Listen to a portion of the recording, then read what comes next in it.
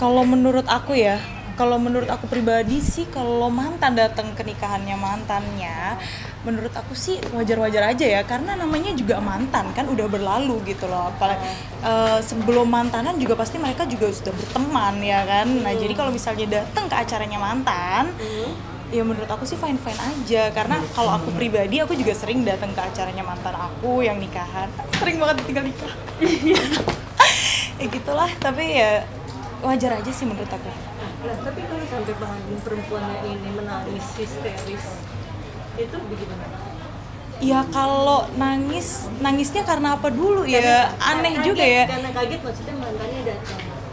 Eh, kalau gitu kenapa mantannya datang? Kalau nggak diundang ya nggak sih? Nggak malu apa gimana? Nggak ngerti. Kalau misalnya udah ada undangan terus ternyata eh, si ceweknya ini nangis ya aneh juga sih menurut aku aneh sih Iya ya? sih, iya aneh lah. histeris gitu. Ya aneh sih menurut aku Di, di 2020 menutup tahun mau 2001 itu gimana? Masih wajar nggak kejadian itu aturan?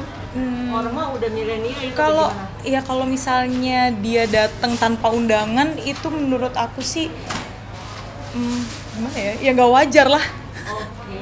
kalau si cewek si mantan ini datang tanpa undangan menurut aku sih nggak wajar.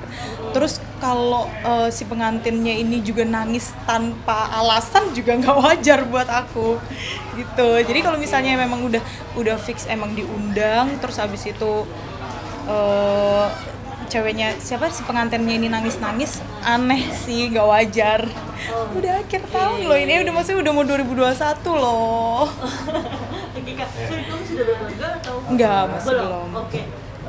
Kamu tip nanti ketika menikah akankah mengundang?